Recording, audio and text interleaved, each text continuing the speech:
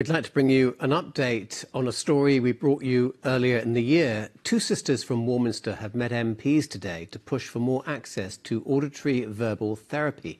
They say the service helped them learn how to listen and speak, and they want everyone to have the same opportunities they did growing up with hearing loss. Auditory verbal therapy is what teaches children and people to listen and actually use those that equipment to talk and to hear. And we think at the moment the fact that only 10% of um, children are being able to access this is not fair. They should all be able to have the same opportunities that we did.